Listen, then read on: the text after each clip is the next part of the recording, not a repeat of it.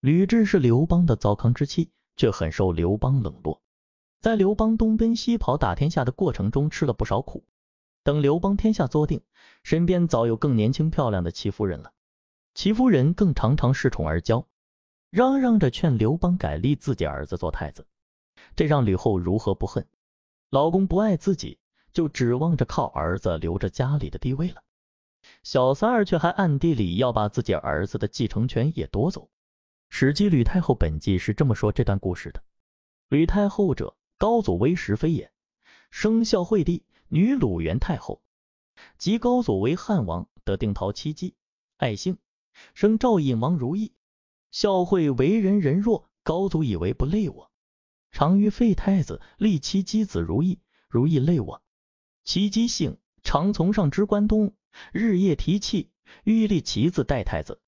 吕后年长，常留守，西见上一书，如意立为赵王后，几代太子者数矣。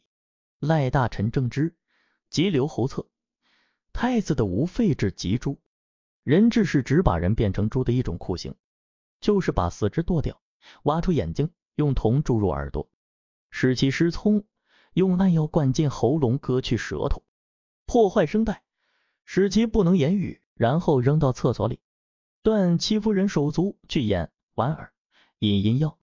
史居册中命曰人质，是见《史记·吕太后本纪》，这是吕后独家发明，用来对付戚夫人的一种酷刑。西汉初。高祖刘邦得了天下后，吕后由于年老色衰，以为刘邦所厌烦。刘邦每次出游出征，都由戚夫人陪着，而把吕后留在宫中，很少见面，相互感情日渐淡薄。他宠幸戚夫人，日日揽在怀中调情取乐。戚夫人貌比西施，身材修长，会弹奏各种乐器，舞技高超。她善跳翘袖折腰之舞。从出土的汉画石像看来，其舞姿优美，甩袖和折腰都有相当的技巧，且花样繁复。戚夫人有一子名叫如意，是为赵王，言谈举止都有刘邦的风范。他日夜在刘邦前颦眉泪眼，求立子赵王如意为太子。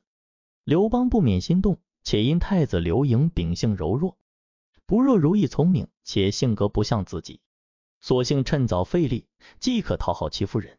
又可保全社稷，吕后也随时提防太子被废，视戚夫人母子为眼中钉。吕后为了确保太子的地位，求教于张良。张良出计，请出商山四号，以使太子在朝廷的地位显得一发庄重而不可动摇。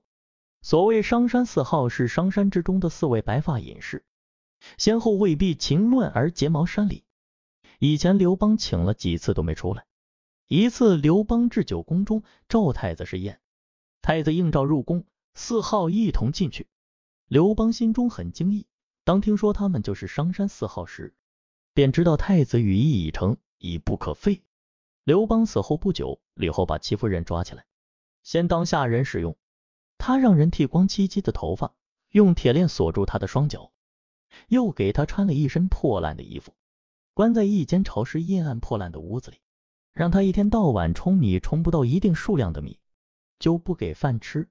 接着，吕后又把戚姬的儿子赵王如意从封地上召到京城里来，准备杀害他。汉惠帝听说母亲吕后把如意召来，就知道吕后想要对如意下毒手，他赶紧派人把如意接到皇宫里，吃饭睡觉都跟他待在一起。两人从小待在一起玩耍，惠帝对这个弟弟非常疼爱。所以就尽自己最大的力量保护他。吕后虽然气得咬牙切齿，但有好几个月都没有机会对如意下手。有一天，汉惠帝清早起来出去打猎，如意由于睡懒觉，没起来跟着去。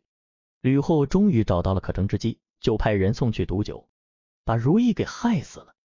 汉惠帝打猎回来一看，如意口中、鼻子全部流血，变成了一具直挺挺的僵尸。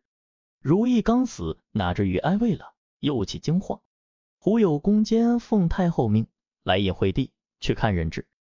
惠帝从未闻有人质的名目，心中甚是稀罕，便即跟着太监出宫往观。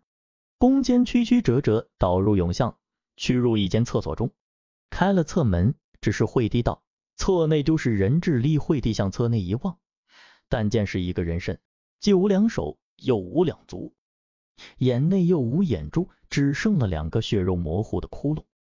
那身子还稍能活动，一张嘴开得甚大，却不闻有什么声音。看了一回，又惊又怕，不由得缩转身去。故问宫坚就是何物？宫坚不敢说明，直至惠帝回宫，硬要宫坚直说。宫坚方说出戚夫人三字，一语未了，几乎把惠帝吓得晕倒，勉强安定了神，要想问个底细。即宫坚附耳语语，说是戚夫人手足被断，眼珠挖出，熏聋两耳，要哑喉咙，方令投入侧中，折磨致死。惠帝不待说完，又急问他人质的名义。宫坚道：“这是太后所命。”宫奴却也不解，惠帝不禁失声道：“人质之事。”非人所为，齐夫人虽是先帝有年，如何使他如此残酷？臣为太后子，终不能治天下。他回去后大病一场，一年多卧床不起，从此日夜饮酒作乐，不久死去。史称孝惠以此日饮为淫乐，不听政，故有病也。